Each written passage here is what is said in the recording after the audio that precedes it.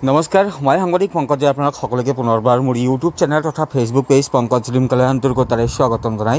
এই মুহূৰ্তত লৈ আনিছোঁ সোতৰ নম্বৰ ৰাষ্ট্ৰীয় ঘাইপথত সংঘটিত হোৱা এটা ভয়ংকৰ পথ দুৰ্ঘটনাৰ খবৰ দি পথ দুৰ্ঘটনাৰ পৰিপ্ৰেক্ষিতত এখন ই ৰিক্সা যাক আমি বহুতেই পিলপিলি বুলি কওঁ সেই ই ৰিক্সা খণ্ড বিখণ্ড হৈ যোৱা পৰিলক্ষিত হৈছে।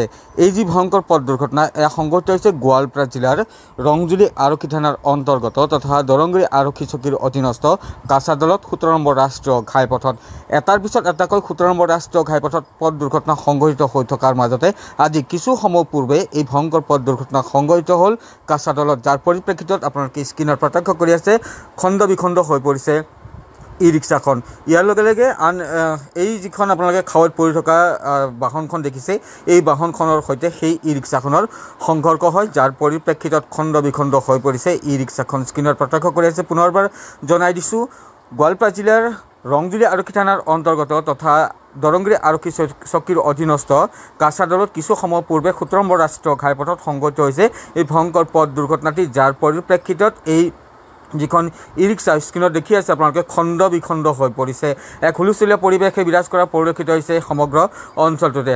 আৰু জানিব পৰা মতে গোৱালপাৰা দিশে গৈ আছিল গুৱাহাটী দিশৰ পৰা গোৱালপাৰা অভিমুখে গৈ আছিল সেই চাৰিচকীয়া জেষ্ট টাটা জেষ্ট বাহনখন আৰু তেনে সময়তে আমজঙা দিশৰ পৰা কাছাৰদললৈ আহি আছিল এই ই ৰিক্সাখন আৰু ই ৰিক্সাখন আমজঙা দিশৰ পৰা আহি পথৰ এটা দিশৰ পৰা আন এটা দিশলৈ গৈ থকা সময়তে গোৱালপাৰা দিশে গৈ থকা এই যিখন স্ক্ৰীণত আপোনালোকে প্ৰত্যক্ষ কৰি আছে এই বাহনখন জেষ্ট বাহনখন এই জেষ্ট বাহনখনে খুন্দা মাৰি দিয়ে। যাৰ পৰিপ্ৰেক্ষিততে এই ভয়ংকৰ পথ দুৰ্ঘটনাটি সংঘটিত হয়। অৱশ্যে কাৰ ভুলৰ বাবে এই ভয়ংকৰ পথ দুৰ্ঘটনাটি সংঘটিত হ'ল সেয়া কিন্তু ক'ব পৰা যোৱা নাই। বা কেনেধৰণে সংগঠিত হ'ল কিন্তু এনে এনেকৈ দেখিবলৈ পোৱা গ'ল যে এখন টাটা জেষ্ট আৰু ই ৰিক্সাৰ মাজত সংঘৰ্ষ হ'ল আৰু যাৰ পৰিপ্ৰেক্ষিততে এই ধৰণৰ ভয়ংকৰ পথ দুৰ্ঘটনা সংঘটিত হৈছে। টাটা জেষ্টখনত জানিব পৰা মতে চালকসহ চাৰিগৰাকীকৈ ব্যক্তি আছিল আৰু যিখন ই ৰিক্সা আছিল।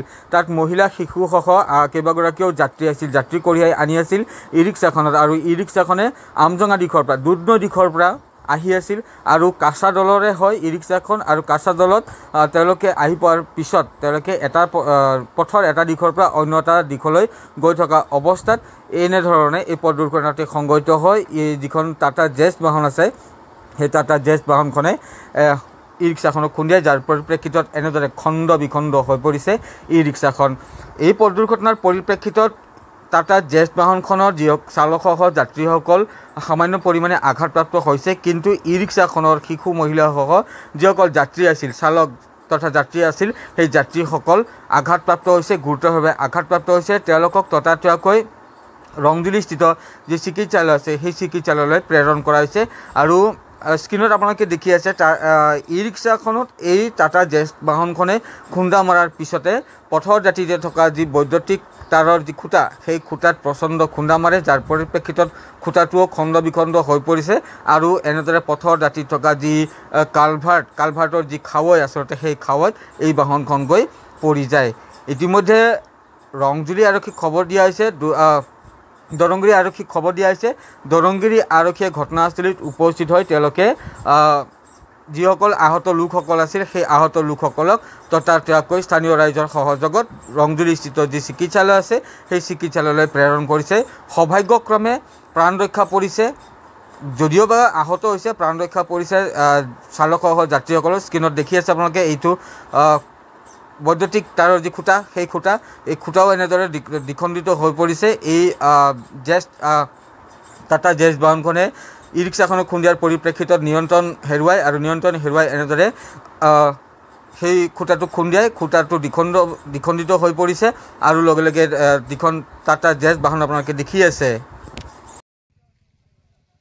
টাটা জেষ্ট বাহনখন তেনেদৰে খাৱৈত বাগৰি পৰে। তো এতিয়া কথাটো হ'ল যে এতিয়া আমি দেখিবলৈ পাওঁ যে আচলতে সময় কাৰোৱে নাই ষ্টেয়াৰিঙত বহিলেই হ'ল। সি ই ৰিক্সাৰ ই ৰিক্সাৰ ষ্টেয়াৰিঙে হওক চাৰিচকীয়া বাহনৰ ষ্টেয়াৰিঙে হওক বা বাইকৰ ষ্টেয়াৰিঙে হওক সাৱধানতা অৱলম্বন নকৰোঁ আমি। যাৰ পৰিপ্ৰেক্ষিতত এই ধৰণৰ পথ দুৰ্ঘটনাসমূহ সংঘটিত হৈ আহিছে। সময় নাই আমাৰ হাতত তীব্ৰ গতিত যাবই লাগিব। যাৰ পৰিপ্ৰেক্ষিতত এই ধৰণৰ পথ দুৰ্ঘটনা সংঘটিত হৈ আহিছে সাৱধানতা একেবাৰে দেখিবলৈ পোৱা নাযায়। যাৰ পৰিপ্ৰেক্ষিততে আচলতে এই দুৰ্ঘটনাসমূহ সংঘটিত হৈ আহিছে। যদি সকলো চালকে যিকোনো যান বাহনৰ চালকে যান বাহনসমূহ লাহে বা ধীৰে গতিত চলায় তেতিয়াহ'লে পথ দুৰ্ঘটনাৰ সংখ্যা যে বহু পৰিমাণে কমি যাব সেই কথা কিন্তু নুই কৰিব নোৱাৰি। কিন্তু দেখিবলৈ পাওঁ আমি যে আমি ষ্টেয়াৰিঙত বহিলে আমাৰ হাতত সময় নাই। আমি মানে তীব্ৰ গতিৰে যান বাহনসমূহ চলাই গন্তব্যস্থান পাবলৈ